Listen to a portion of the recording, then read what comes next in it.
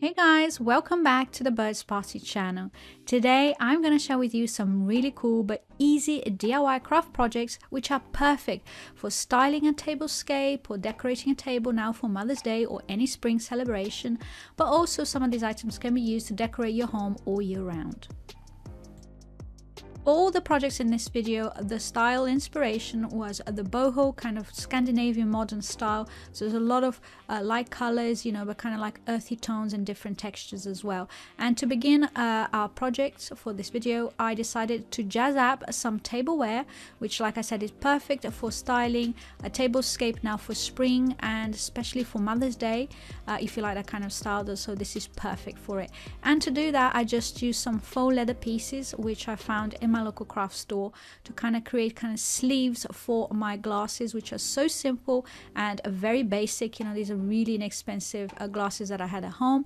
And I thought they would be the perfect uh, way to jazz up them with some faux leather. So basically I just cut up the uh, strips of leather and these came in packs of different colors and I really like uh, the colors. They suit this kind of boho style really well and I just wrapped it around my glasses. So obviously if you don't have the same glasses you know you can choose a different uh, you can do vases you can do votive holders you know like candle holders and stuff and you basically use the same technique and I'll be sure to leave some links down description box for all the supplies that I am using but you can find things like this very easily in any craft store wherever you are in the world. And basically the idea was just to wrap a piece of the faux leather around the glassware or bottles or vases or candle holders make some holes and just use a little leather string to tie the whole thing together. It's really easy. And I used paper clips as you saw earlier to mark where I was going to make my holes and a regular hole puncher. You if your leather is really thick you have to use kind of like a special tool but I just used a basic paper puncher and punched up some holes and just used the leather string to tie the leather sleeve or the leather jacket whatever you want to call it uh, around my glassware. And I did it for different colors uh, to kind of give it a really nice eclectic look but you know matching colors for my style which was the boho style that I was going for in this project. But feel free to swap out the colors you know for different events or to suit your own decor and taste as well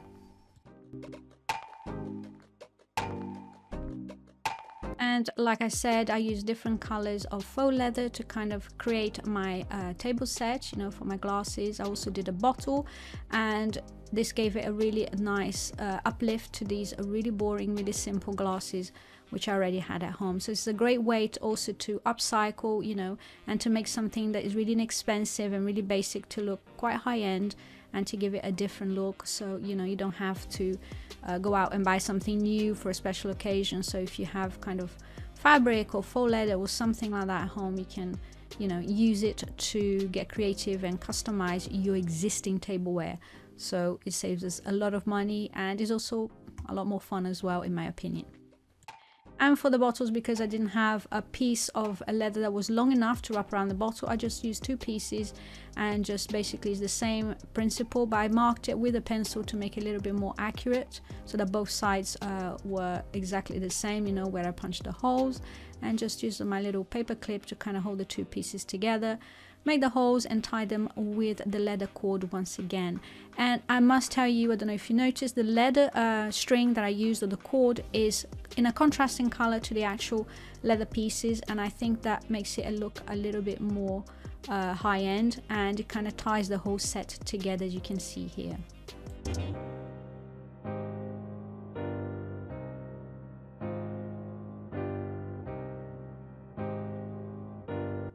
Next up, I created this bamboo uh, caning vase and with these paper palm leaves and I really like how they turned out and it was super easy. Basically, I just used some of this bamboo caning that comes in a roll once again from my local craft store and this is available online as well if you don't live uh, here in France.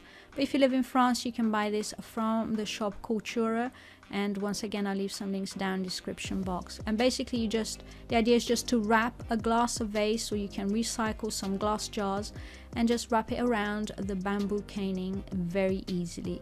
And because it came in a roll it was super easy as well because you know you've already got the shape of the roll. So I just wrap that around and just basically just use some hot glue uh, little beads of hot glue. You don't have to use much but if you do uh, use hot glue. Be sure that you put the glue where you can't see it when you wrap the pieces together because if you put it on a place where there's a hole you'll be able to see it from the inside or from the outside uh, which is not really a big deal but you know if you like a nice clean look then do it like I did here and put the hot glue on a place that won't show when you close the two pieces together. Hope that makes sense, but you can see what I'm doing here. It's super easy.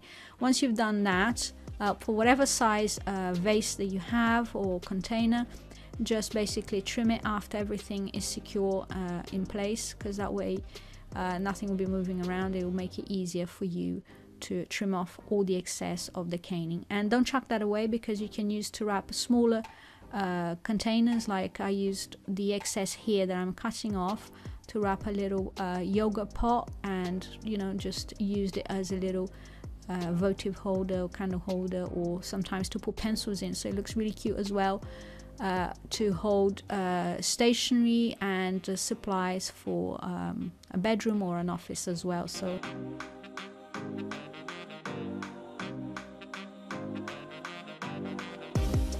for the paper palm leaves. They are super easy to make and basically you can use any paper. Um, here this was my first one so I was using some craft wrapping paper that I already had at home but then I switched to different colors of cardstock and I think they both are really cool depending on what look you're going for or to have a bunch of different you know textures. So it's up to you whatever colors or paper type that you use uh, with the thinner paper obviously it's easier to fold as I'm doing here. With the thicker paper the only you know difference is that you're going to take a little bit longer because the folds are going to be a little bit harder. But you know you can do it with whatever thickness paper that you already have at home. And once you've cut your shape and by the way I'll leave a template down uh, on the description box that you can download for free. Uh, but basically here just you know kind of cut freehand but to make your life easier you know um, because I'm feeling really kind today.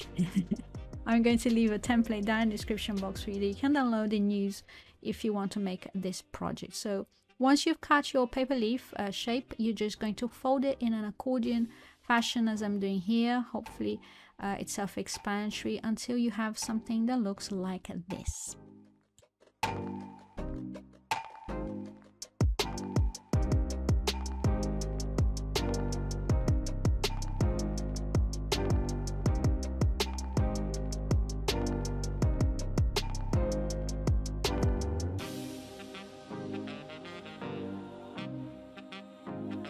Now you could leave the palm leaves exactly as they were, you know, for kind of a different look. But what um, I did was to cut it like little pointy leaves. So you're just going to open uh, the shape that you've created and whenever there's a line, you know, that you see of the fold of the paper, you just take a pair of scissors and cut it like a little uh, fishtail or a little teardrop or whatever, basically to create uh, the look of the palm leaves. As you, as you can see I'm doing here once again you know the video um, images explain much better than I can. So I'll just let you guys watch.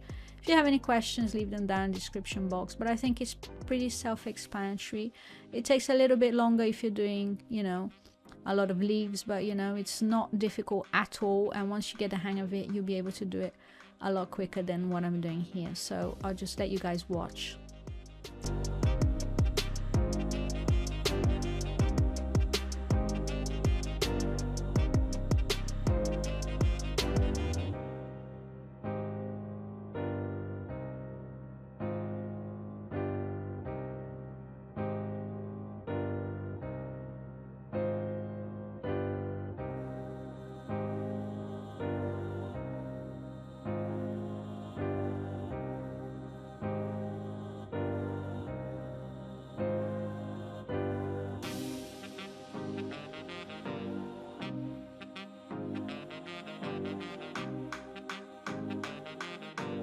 now that you've created the basic uh, palm leaf shape basically now we're just going to shape it with our hands. And once again if you have thin paper uh, this is where it's a lot easier than if you're using cardstock for instance. So you go to the end of the leaves or the paper pointy bits because uh, they're not really actual leaves.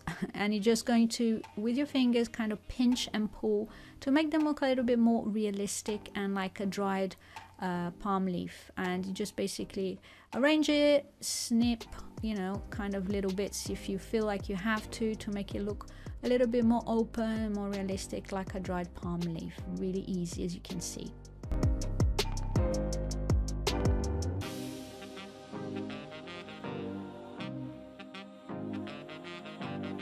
Now for the stems I just took a stick from my yard you know so this is from a real plant to give it more realistic look.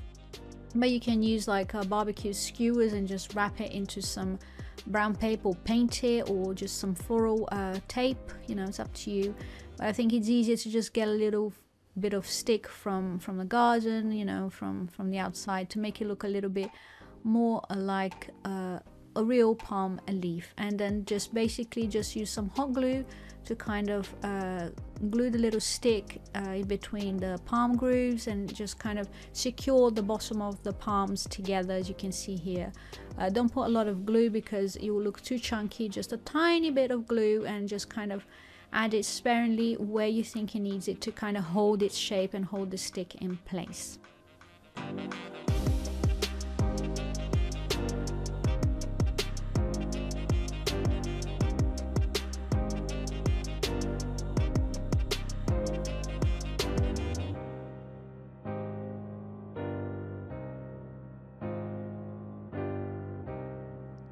I just wanted to show you guys a palm leaf that I made using cardstock. So basically to show you how versatile this technique is you can use any type of paper thin paper thick paper you know whatever color suits your decor. And the only difference is that you're just going to put a little bit more force when you're folding the paper that's it and when you're shaping the leaves of course because this is thicker paper. But I think it gives a really nice realistic look as well of a dried palm leaf and I really like how it turned out. And I use a combination of thin paper you know the wrapping the craft wrapping paper and this thicker cardstock for my uh, table centerpiece. But you can use these uh, dried palm leaves as well to decorate a vase you know or a shelf or even a wall as well to create kind of like a table backdrop. It's up to you what you use them for. And I've actually seen these kind of uh, paper palm leaves on balloon installations as well. So if you're having a party uh, that's a really cool decor idea as well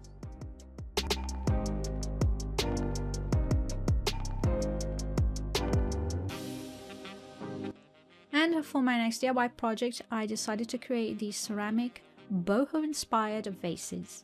These vases started off their life as bottles that I got at my local thrift store. So these bottles were pretty old. They've been sitting in my garage for a long time. So I basically just gave them a good clean. I couldn't get rid of all the painting and the stickers you know the branding stickers that were on the bottle so I decided to paint them and make them look like they were ceramic vases and these were really cool because you can use them as uh, accent pieces you know to decorate your home your mantle your table uh, or even you can use them for uh, a bar area you know if you're decorating a bar area for the season I think they look really cool.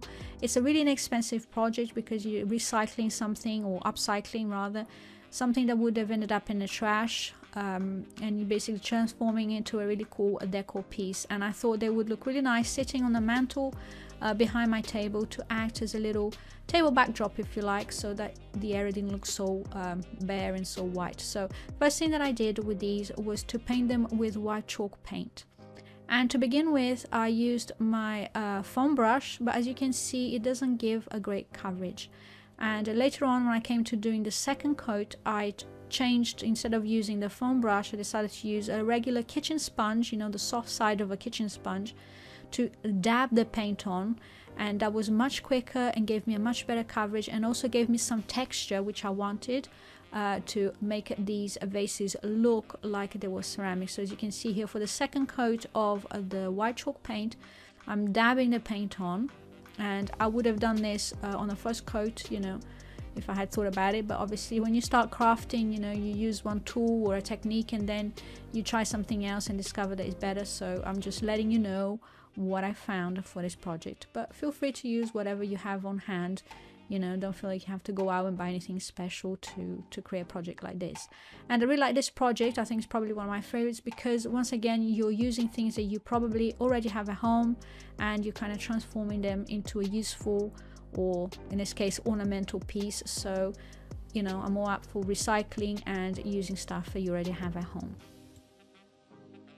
and speaking of using things you already have at home, feel free to use any acrylic paints to create a new uh, shades for coloring your bottles or your vases. And this is exactly what I did. So I used kind of like a, a pink with a little bit of, you know, beige. I can't remember exactly what the, the two colors were called, but they're just basically acrylic paints that I had at home and I mixed them until I was happy with the shade of pink. And this is not really looking pink on camera, but it is kind of like a pastel pink and I obviously chose colors that would be in keeping with the boho vibe that I was going for, you know, kind of modern Scandinavian.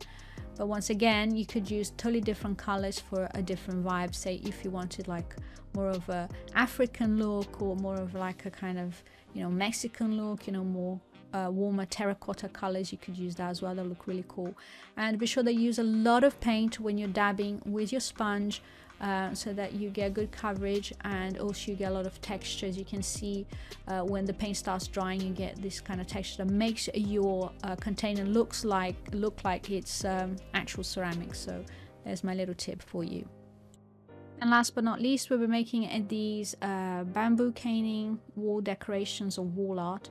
And once again I'm using that bamboo caning that I used on the first project you know to make the centerpiece and basically I'm also using some wooden embroidery hoops but you can use any sort of you know a wreath form that you may already have at home for this project. And this is also really easy.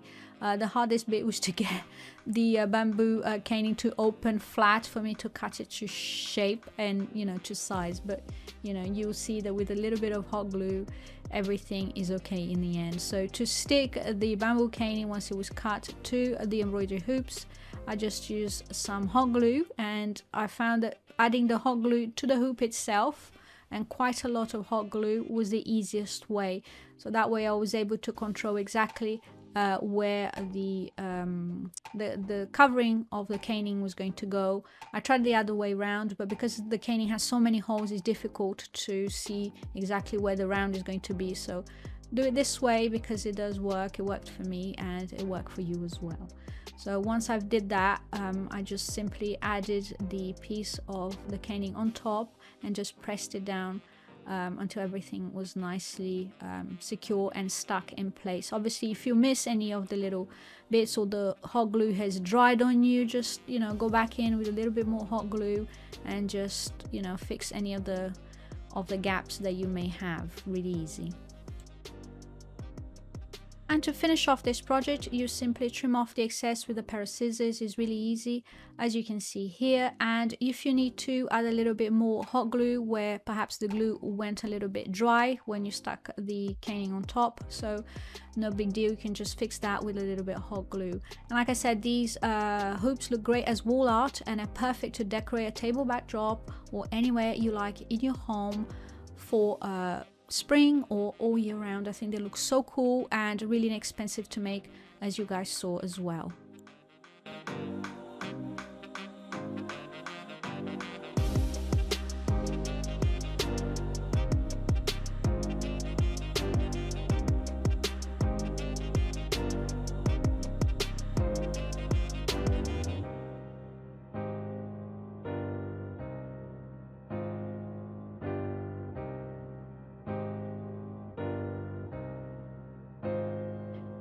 Guys all my DIY boho inspired projects which are perfect like I said to style a tablescape for spring, for Mother's Day or for any other celebration that you may be hosting at home this season. I hope you guys enjoyed these ideas and feel inspired to have a go and if you do let me know down in the comments uh, you know how it turned out for you. Don't forget to give this video a thumbs up, it lets me know that you like this kind of content so I can keep on creating more for you guys. Thank you so much for watching and I'll see you next time. Bye bye.